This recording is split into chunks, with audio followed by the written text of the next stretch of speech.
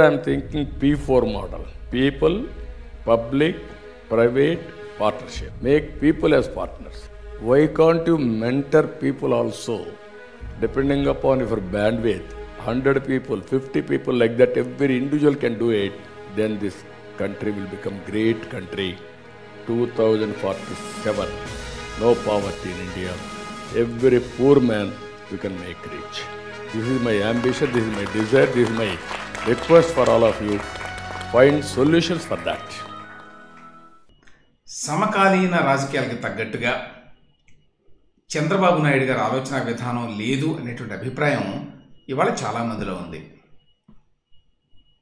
లేకపోతే ఆయన రెండు వేల పంతొమ్మిది ఎన్నికల్లో ఘోరంగా ఓడిపోయి ఉండి సుస్థిర అభివృద్ధి కోసం విశ్వవేదిక global forum for sustainable transformation అని చెప్పి ఒక నాన్ ప్రాఫిట్ ఆర్గనైజేషన్ ఏర్పాటు చేయాల్సిన అవసరం ఉందే.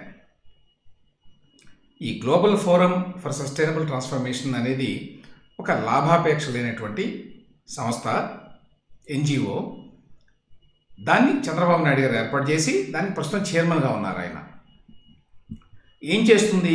ఈ జిఎఫ్ఎస్టీ అంటే పాలసీల రూపకల్పన రీసెర్చి నాలెడ్జ్ షేరింగ్. ఈ ఇరవై నలభై ఏడు నాటికి ఇండియాకి స్వాతంత్రం వచ్చి వందేళ్ళు పూర్తవుతాయండి. సో ఈ చారిత్రక సందర్భాన్ని పురస్కరించుకొని strategies for India at hundred అనేటువంటి కాన్సెప్ట్ మీద జిఎఫ్ఎస్టీ పనిచేస్తుంది. సో ఈ ఏడాది ఈ జిఎఫ్ఎస్టీ కింద ఈ deep technologies logistics farm and health ఈ సెక్టర్ల మీద మరి సదస్సు ఏర్పాటు చేయాలని చెప్పి నిర్ణయించారు. అందులో భాగంగా ఇప్పుడు తాజాగా మొన్న హైదరాబాద్లో డీప్ టెక్నాలజీస్ అనేటువంటి అంశం మీద ఒక సదస్సు ఒకటి ఏర్పాటు చేశారు. ఇందులో చంద్రబాబు నాయుడు గారు అట్లా వివిధ రంగాలకు చెందినటువంటి ప్రముఖులు పాల్గొన్నారు. ఎవరంటే స్పాట్ ఫ్లాక్ అనేటువంటి కంపెనీ సీఈఓ శ్రీధర్ శేషాద్రి అలాగే GoNorth venture CEO Sanjay Jasrani E and Y director Sriram Iyer అదే ఈఎన్వై పార్ట్నర్ రామ్దాస్ పాండే విజ్ అనేటువంటి company global head Satish Lakkaraju ఇట్లా చాలామంది ఈ ప్యానల్ చర్చలో పాల్గొన్నారు. ఏం చేశారు చర్చ అంటే ఇండియా ప్రపంచంలో నంబర్ వన్ ఆర్థిక వ్యవస్థగా మారటానికి తీసుకురావాల్సినటువంటి పాలసీలు టెక్నాలజీ పాత్ర మీద ఈ సదస్సులో చర్చించారట. చంద్రబాబు నాయుడు గారికి ఈ పరిస్థితుల్లో ఇప్పుడున్నటువంటి స్థితిలో కూడా ఈ ఫ్యాసినేషన్ ఏంటి తపన ఏంటి? పాలసీలు టెక్నాలజీ పాత్ర లాంటి అంశాల మీద ఓటర్లకు ఎంత ఆసక్తి ఉంటుంది అసలు? ఈ మాట టీడీపీ కార్యకర్తలు అంటుంటారండి. ప్రజలకి ఏం కావాలో అది ఇవ్వాలి కానీ వారి ఊహలకు అందని అర్థం కాని ఆశలు కల్పించకూడదు అనేది రాజకీయాల్లో ఒక ముఖ్య సూత్రం. మాకు ఈ పొద్దు గడిస్తే చాలు అని ప్రజలు అనుకుంటున్నప్పుడు మరి మీ భవిష్యత్తుని మీ బిడ్డల భవిష్యత్తుని నేను తీర్చిదిద్దుతాను అందుకోసం రకరకాల ప్రణాళికలు రచిస్తున్నాను అని చెప్తే అది ఎవరికి పట్టదు ఎవరికి ఎక్కదు. ఈ మాట తెలుగుదేశం అధినేత విషయంలో చాలాసార్లు ప్రూవ్ అయింది. రెండు వేల నాలుగులో జరిగింది రెండు వేల పంతొమ్మిదిలో కూడా మళ్ళీ రిపీట్ అయింది. అపార్థాలకు తావు లేకుండా ఇక్కడ ఒక మాట చెప్పాలండి. చంద్రబాబు నాయుడు పాలనలో ఇతరత్రా చాలా లోపాలు ఉండి ఉండవచ్చు కాబట్టి ఆయన ఓటమికి రకరకాల కారణాలు ఉంటాయి ఉండే అవకాశం ఉంది. కానీ దూరదృష్టితోటి ఆలోచించి దీర్ఘకాలిక విధానాలతో వ్యవస్థలో ముఖ్యంగా ఆర్థిక వ్యవస్థలో పెను మార్పులు తీసుకురావడానికి చేసిన ప్రయత్నాలే చంద్రబాబు నాయుడు గారికి చాలాసార్లు ఎదురు తిరిగినాయి. అనడంలో ఎటువంటి సందేహం లేదు. అప్పట్లో ఐటీ పరిశ్రమను ప్రోత్సహించడం ప్రభుత్వ శాఖను కంప్యూటరీకరించడం విద్యుత్ రంగంలో సంస్కరణలు తీసుకురావడం లాంటి మరి రకరకాల చాలా చర్యలు తీసుకున్నాడు ఆయన. ఆ చర్యల్ని ప్రపంచం దేశం మరి పొగిడే కానీ రాష్ట్ర ప్రజలు మాత్రం హర్షించాల.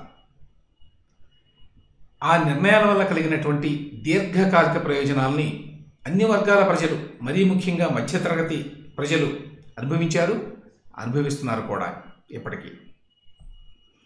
అయినా ఆనాడు మాత్రం పేద వర్గాలతో పాటుగా మధ్యతరగతి ప్రజలు కూడా వాటిని అప్రిషియేట్ చేయలేదు.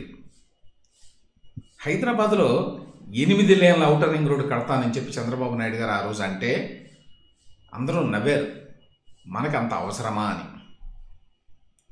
ఆర్థిక కార్యకలాపాలు రూపొందుకోవాలి అంటే అంతర్జాతీయ ఎయిర్పోర్ట్ అవసరం కావాలి అని చెప్పి అట్లాగే పబ్లిక్ ప్ర- ప్రైవేట్ పార్ట్నర్షిప్ ద్వారానే ఇది సాధ్యం అని అప్పటి ప్రధానమంత్రి అటల్ బిహారీ వాజ్పేయి గారిని గారికి నచ్చజెప్పి ఐదు వేల ఎకరాల్లో నిర్మించడానికి పూనుకుంటే మరి ఆనాడు చాలామంది విమర్శించారు.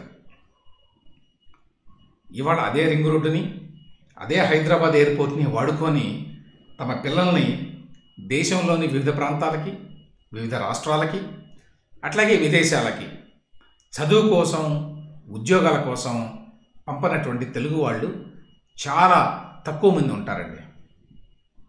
రెండు వేల పద్నాలుగు రెండు వేల పంతొమ్మిది మధ్య కూడా ఆయన మీద ఎన్ని విమర్శలు ఉన్నా కూడా ఆయన ప్రభుత్వం మీద ఎన్ని విమర్శలు ఉన్నా కూడా ఆయన వేసిన పునాదుల మీదనే రాష్ట్రం నడుస్తోంది అనే మాట కూడా వాస్తవం. ముఖ్యమంత్రి జగన్మోహన్ రెడ్డి గారికి ఇష్టం ఉన్నా లేకపోయినా కూడా మరి ప్రభుత్వాన్ని నడపటానికి అవసరమైనటువంటి సదుపాయాలని అమరావతిలో అట్లాగే విజయవాడ చుట్టుపక్కల కూడా మరి కట్టింది ఆయనే. అట్లాగే సులభతర వ్యాపారానికి అనువైనటువంటి వాతావరణాన్ని క్రియేట్ చేసి ఈజ్ ఆఫ్ డూయింగ్ బిజినెస్ ర్యాంకింగ్స్లో దేశంలోనే మొదటి ర్యాంక్ని మన రాష్ట్రానికి సాధించింది కూడా ఆయన హయాంలోనే.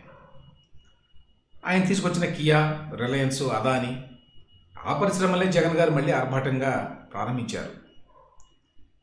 కేంద్రం ఇచ్చినటువంటి విద్యా సంస్థల్లో దాదాపు తొంభై శాతం చంద్రబాబు నాయుడు హయాంలోనే రూపుదిద్దుకున్నాయి.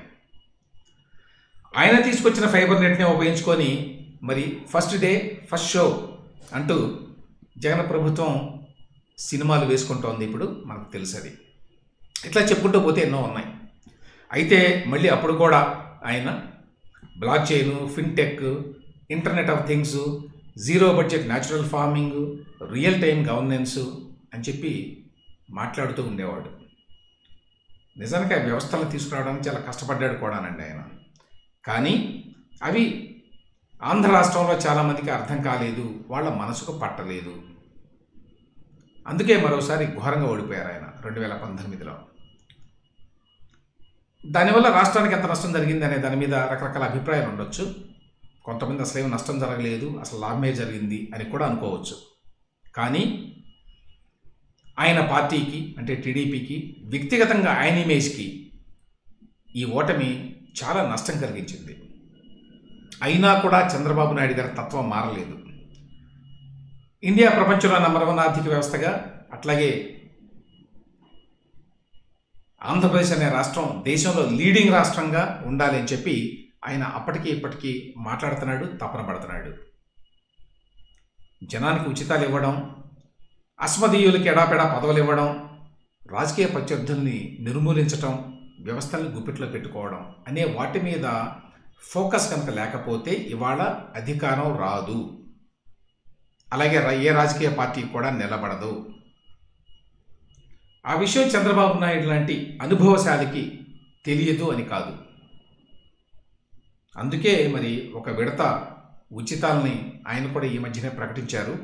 మరో విడత కూడా ప్రకటిస్తాను అని ప్ర చెప్పారు మనకి.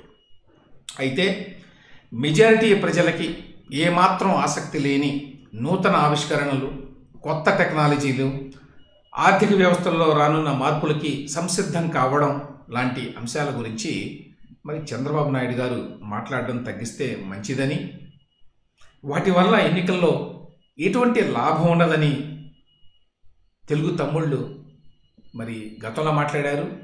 ఇప్పుడు కూడా వాళ్ళ కంప్లైంట్ అదే.